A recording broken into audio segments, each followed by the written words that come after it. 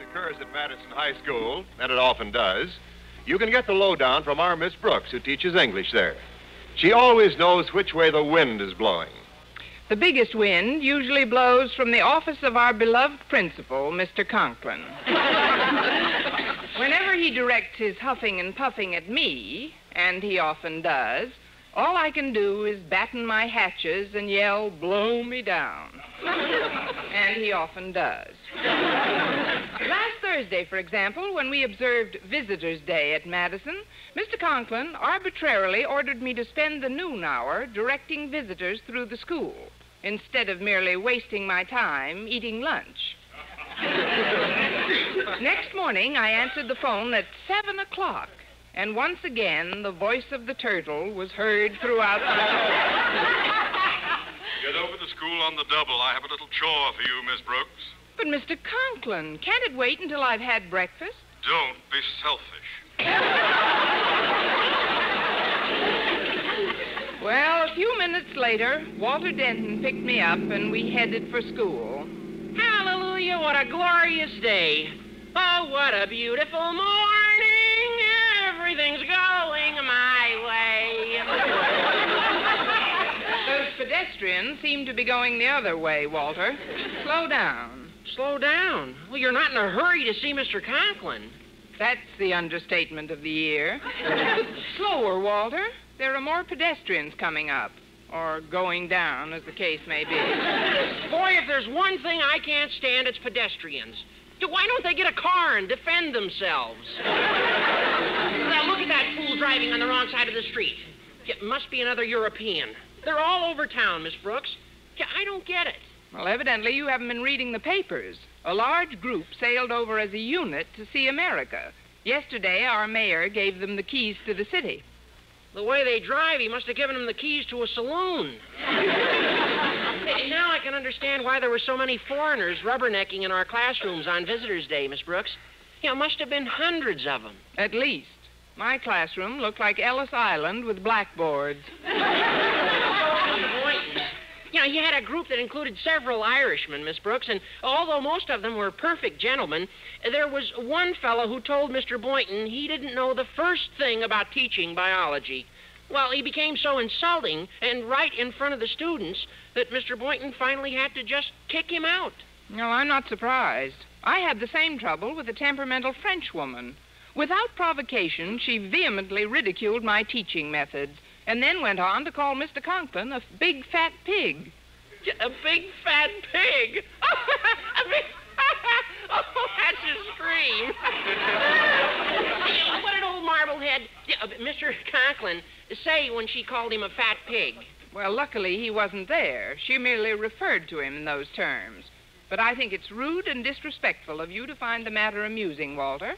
After all, Mr. Conklin is our principal. Well, I'm sorry, Miss Brooks. What did you say when she called Mr. Conklin a fat pig? Nothing. I was laughing so hard, who could talk?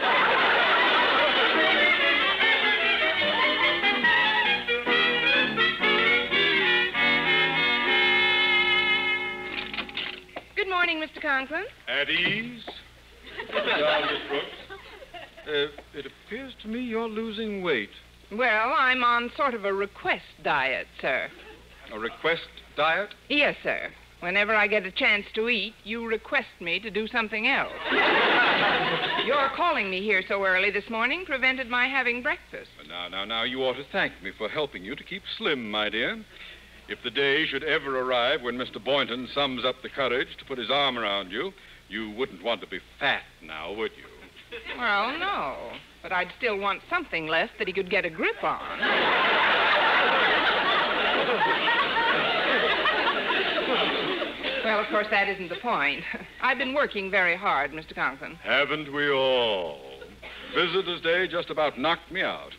Gad, I never saw such weird characters, particularly a Swedish chap who had the audacity to tell me how to run my office. Well, I didn't wish to appear rude, so I gently escorted him to the door and gave him a healthy boot in the pants, calculated to fell an ox. You kicked him out? Literally. My uh, punting days at old Rutgers stood me in good stead, Miss Brooks. They didn't call me Tricky Toes Osgood for nothing. Now, far be it from me to belittle the talents of your toes, Mr. Conklin, but unless you summon me here for something more urgent than to play this little piggy went to market, I'd like to eat. Oh, you are impatient, aren't you? Well, I'll tell you why I summoned you, and then you may bite me if you wish. Last night, Mr. Henry Newton flew in from Washington. Mr. Newton happens to be a distinguished member of the National Board of Education, Miss Brooks. And uh, inasmuch as you are faculty advisor to our paper of the school, I want you to get out a special edition in his honor. He's that important? Yes, he is. To, uh, to borrow a rather humorous expression from my old army buddies, Mr. Newton is as top brass as a doorknob in the Pentagon. I see. And you'd like to polish the doorknob. Exactly. You will run over to journalism at once and write a brilliant editorial under the name of Osgood Conklin. In it, you will heap lavish praise on Mr. Newton for his sterling achievements and outstanding success. Good morning.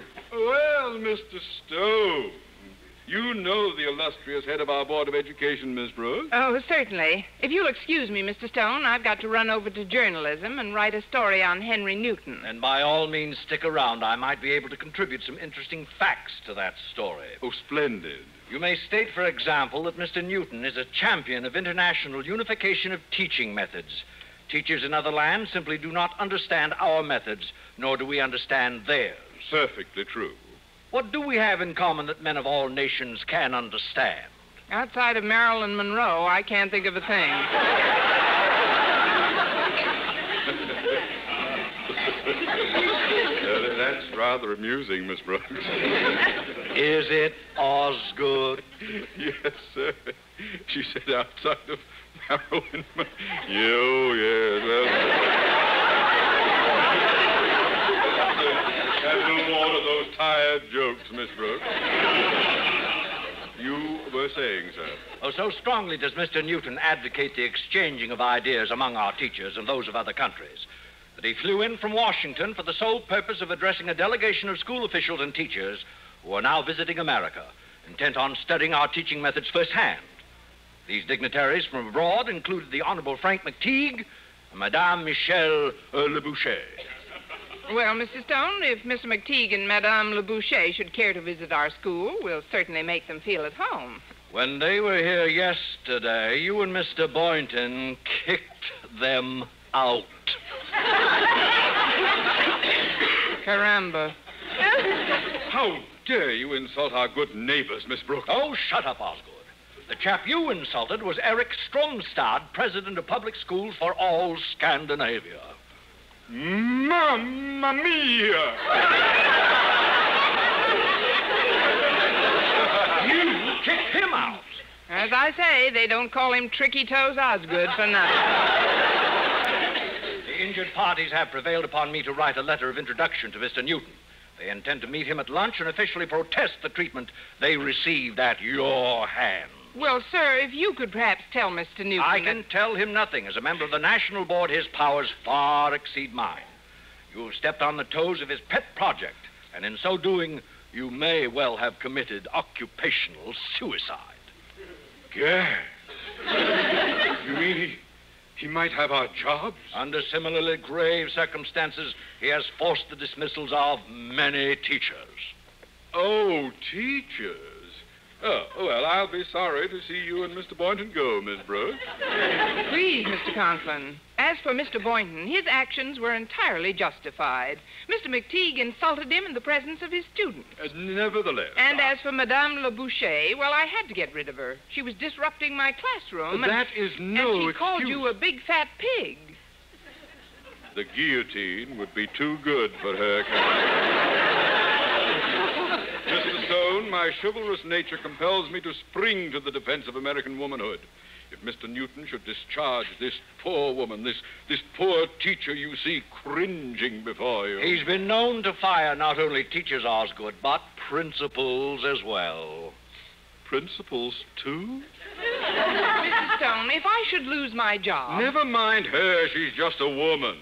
I'm a married man with child.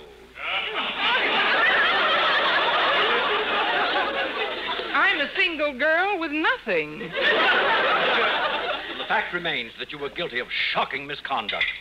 Miss Brooks, Osgood, when those foreign dignitaries inform Mr. Newton of the shabby treatment you extended them, you may rest assured that heads will roll.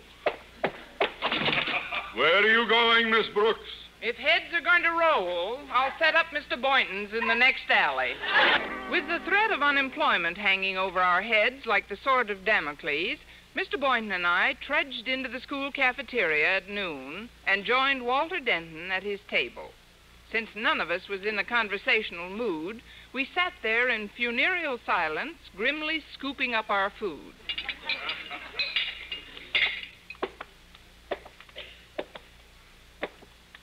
Greetings. Aloha. Pull up a tombstone and sit down. Thanks.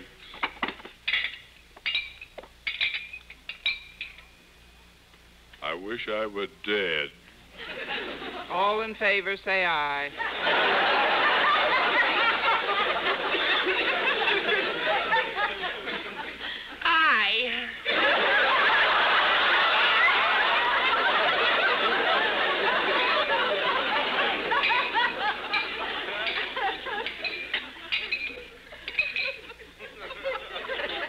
Funny.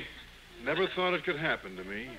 My dad lost his job once, and he was my age at the time. Funny. I remember Dad telling me about it. Son, he said, I lost my job. Like father, like son.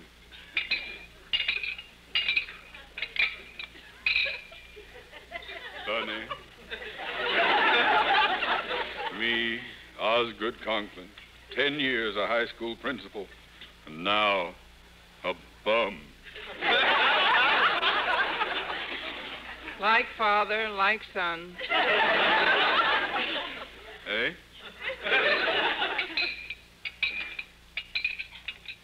Funny. To think that at this very moment, those three dignitaries are having lunch with Mr. Newton and sealing our professional doom. Pretty soon it'll all be over. Honey, it's all over now. Stone got back to me about an hour ago with the information that Mr. Newton had just received a telegram from Madame Le Boucher, the Honorable Frank McTeague, and Eric Stromstad. In it, they vilified us but good, vividly recounting the harrowing events of yesterday. Then Mr. Newton knows the whole story. He does, and may heaven have mercy on us.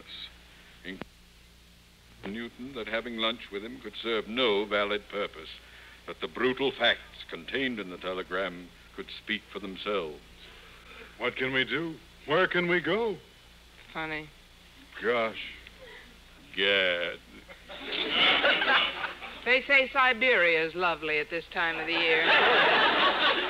Perhaps if we could meet those people again and try to reason with them. Too late. Shortly after Mr. Stone had hung up, Madame Le Boucher called me.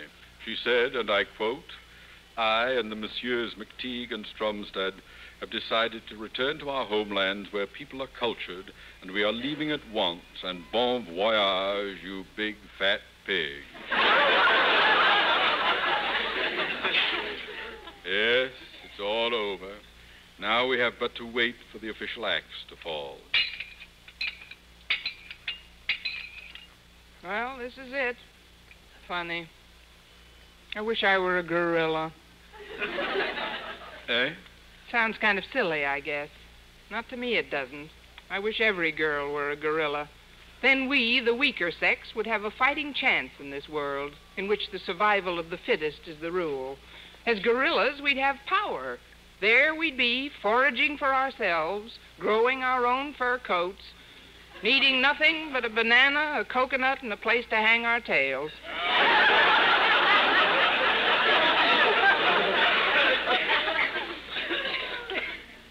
Uh huh.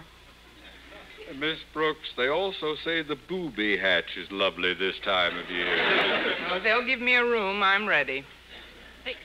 Wait a minute. Well, I've got a scheme that might save your necks.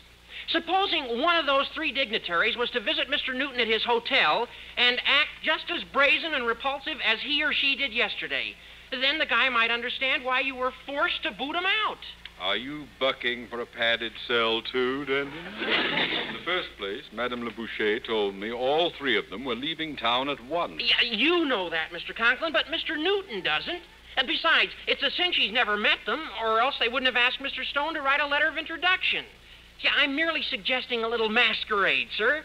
The heck with all the costumes we got in Dramatics Club. One of you could look Irish or French or anything. Oh, that's preposterous, Walter. Not preposterous, just drastic. And if you don't think a situation like oh, this. Oh, shut up. and if you don't think a situation like this calls for drastic action, you Close your fuzz crested upper lip, boy.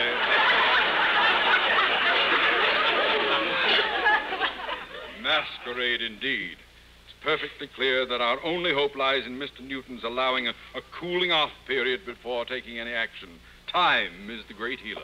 Excuse me, folks. Daddy. Uh, what is it, Harriet? Well, I've been taking messages in your office, and Mr. Stone just telephoned. He said he'd been contacted by Mr. Newton, who's called an emergency meeting at the board for tomorrow morning. An emergency meeting? Yes, Miss Brooks. He said at that meeting, Mr. Newton will recommend the summary dismissal of you and Mr. Boynton and Daddy. Tomorrow morning. Funny. Gosh. Gad. Again. Funny. Never thought it could happen to me. Me, a poor teacher, deprived of a livelihood by another woman. A wealthy woman at that. How I envied her the fur coat she was wearing. She didn't grow it herself. Must have paid thousands of dollars for it. At a time like this, that's a strange thing to envy her for, Miss Brooks. Anyway, you have a fur coat of your own. Not anymore. Last night it woke up and walked back to the kennel.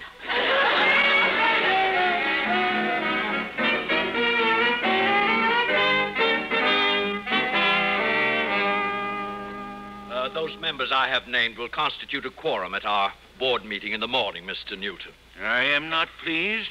Conklin, Boynton, and Miss Brooks have struck a vicious blow at my efforts in behalf of international goodwill and unity among educators, Mr. Stone. I want the maximum membership at that meeting. Call everyone. Very well, Mr. Newton. Excuse me, I'll use the phone in your bedroom. Bonjour, monsieur. Permit me to make the introduce. I am Madame Le Boucher. Ah, well, what a delightful surprise to meet you, Madame Le Boucher. Uh, you must come in. And uh, tell me all about your horrible experience with Miss Brooks, my dear. I am Mr. Newton. You are Mr. Newton? But I expect to meet a pleasant looking man. You are a big fat pig. What's that? Fat, bald, old, and dirty. I beg your pardon. I heard you were a bachelor, monsieur, and now I can understand why.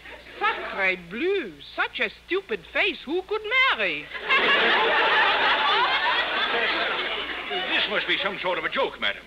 I have been married to a lovely woman for ten years, and never have I. Of course, she probably wouldn't let you kiss her. when did you first realize this woman married you for your money? What's. Now, see here. I- If these brazen remarks are a sample of what you gave Miss Brooks. Oh, please, do not mention that blockhead of a woman.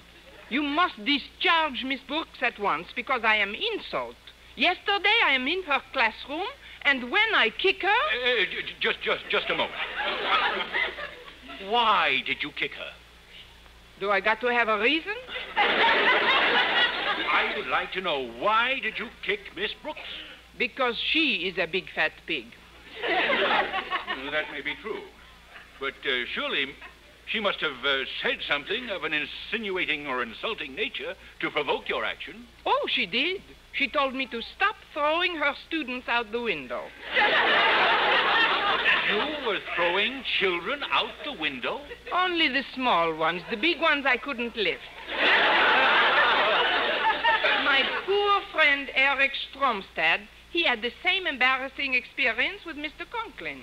After he kicked Mr. Uh, Conklin, uh, just, just a moment. Why did he kick Mr. Conklin? because he's a big fat pig. and I mean it. Eric and and I, we do not like big fat pigs. Now, you take my friend Frank McTeague. He kicked Mr. Boynton. Why? Because he is a skinny pig. McTeague does not like skinny pigs. So you see, Monsieur Newton, if you could get it through your thick skull to understand. I'm beginning to understand a lot of things, madam. Come in. Yes? Yumpin Yemeni.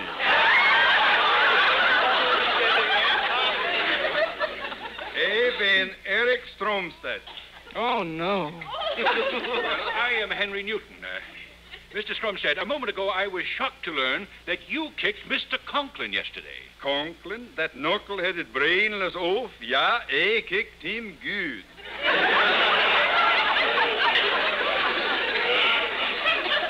Yeah, they do not call him Tricky Toes Eric for nothing. Bonjour, Eric. Eh, I don't believe... Oh, oh. Eh bien, Madame Le Boucher. Oh ja, ja, ja, ja. Uh, listen, Newton. I just make him here to make sure you fire Conklin. You not fire him, I beat his head in. We fight. Uh, now, look, I don't approve of fisticuffs, Mr. Stromstad. Then we wrestle. Japanese style. you jitsu.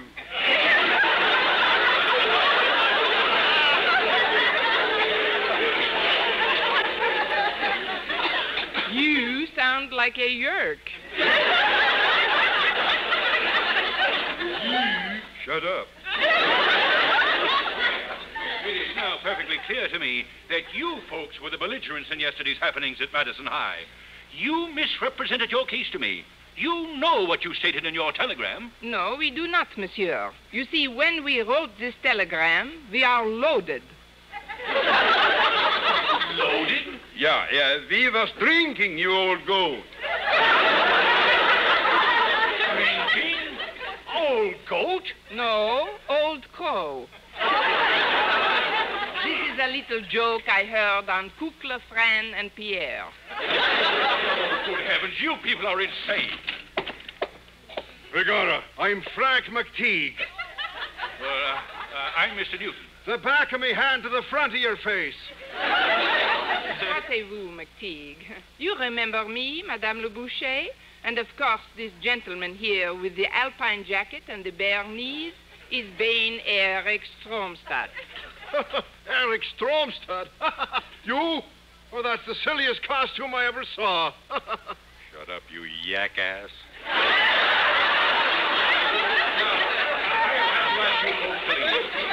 And in view of your outrageous demonstration, I have decided not to press charges against Miss Brooks, Mr. Conklin, and Mr. Boynton. You mean that, monsieur? Oh, this is a terrible blow. Yeah, yeah, yeah. We go now. There's nothing more for us to eat. I'm Frank McTeague. Huh? Go home, McTeague. You got here five minutes ago. Huh? What in the world's going on here? I uh, made those calls, Mr. Newton, and I. Mr. Stone. Begorra. Sacre bleu. Yumpin Yemeni. Holy cow. Saints above. Sacre bleu again. Excuse me, I've got to get back to France. I left a roast in the oven. Hold on there, Miss Brooks. Miss Brooks? And Osgood Conklin, Boynton, Denton. What's the meaning of this masquerade? A masquerade? So, Come on, gang. Like I say, Siberia is lovely this time of year. Once again. As Mr. Newton was about to fire us on the spot, a miracle happened. He received an acidly phrased telegram from Madame Le Boucher, which so infuriated the distinguished gent that he gave us his blessings and sent us on our way. But when Mr. Boynton drove me home, I was still so nervous that I had some difficulty in finding the doorbell. What's the matter, Miss Brooks? You need glasses? Glasses? Oh, no, it's just nerves, Mr. Boynton. Oh, here's the bell.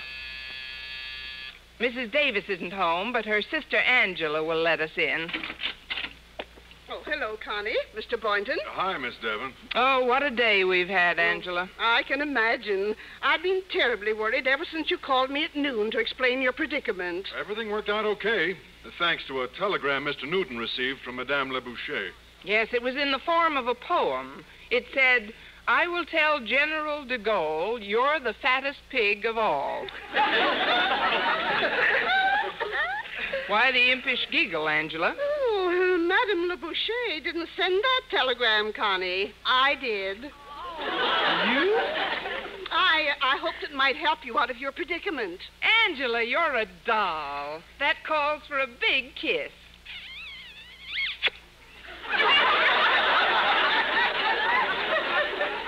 Miss Brooks, you kissed me. Well, kill me. I need glasses.